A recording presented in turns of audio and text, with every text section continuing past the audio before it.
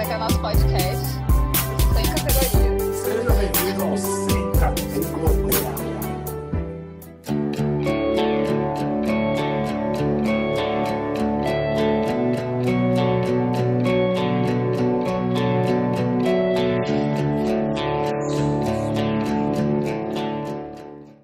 E agora, para responder uma pergunta que vocês enviaram para nós, como é evangelizar fora do Brasil? A nossa irmã Vivian Freire, diretamente da Argélia, da comunidade de vida, vai nos dizer, Vivian, como é a evangelização aí na Argélia? Shalom.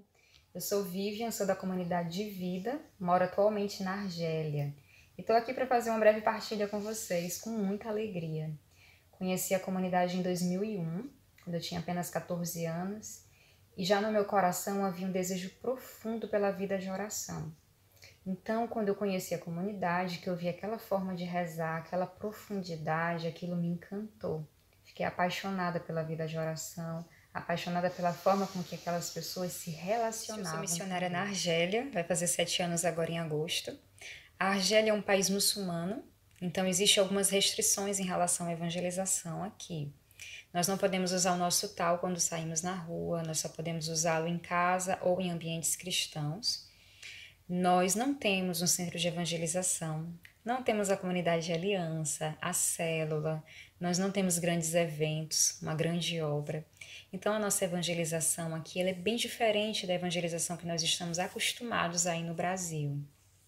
Muitos de vocês poderiam me perguntar, Vivian, o que, que você está fazendo na Argélia? Se você não pode evangelizar explicitamente.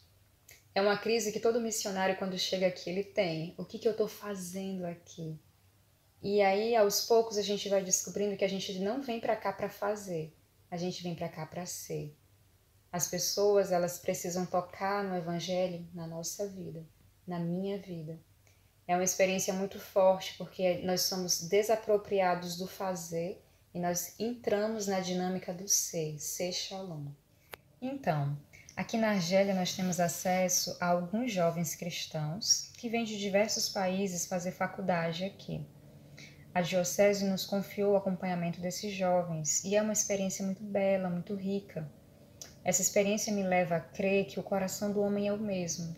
Seja o homem europeu, seja brasileiro, seja asiático, seja africano, esse homem ele tem a mesma sede de Deus, ele tem a mesma sede de infinito. Hoje, quando eu penso em santidade, eu penso em bem-aventurança. Eu não consigo desvincular uma coisa da outra. Ser santo é ser feliz. Então, vale a pena, vale muito a pena ser santo. Irmãos, foi uma grande alegria participar desse momento com vocês, fazer essa partilha. Peço muito que vocês rezem pela minha missão aqui na Argélia. Nós somos quatro missionários atualmente. Rezem por nós e estaremos também rezando por vocês. Feliz 38 anos de vocação. Shalom. Você terá a oportunidade de nos conhecer melhor. Quem será? Quem será este eleito? Quem será este que receberá esta honraria de também colocar aqui a sua vida à disposição das nossas perguntas? Quem correrá esse risco? Quem assumirá essa responsabilidade? Olhe para nós. Eu passei e sobrevivi. Quem será? Quem será? Quem será? Comente aí nessa chamada quem que você acha que é. Esperamos o seu comentário e guardamos para você a surpresa. Continue nos seguindo, continue nos acompanhando para que você seja surpreendido com o próximo na sabatina do Sem Categoria. Um abraço. Shalom. Santo, Santo, Santo